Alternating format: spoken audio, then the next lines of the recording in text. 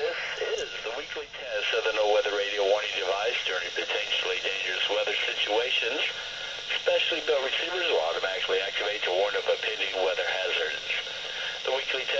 the weather radio warning device is normally conducted by the National Weather Service on every Wednesday between 11 a.m. and noon.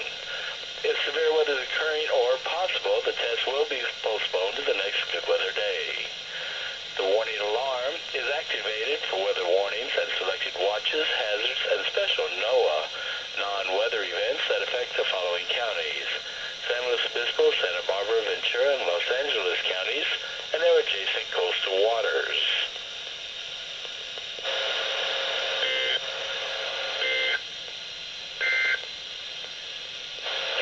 listening to NOAA, weather radio station KWO 37.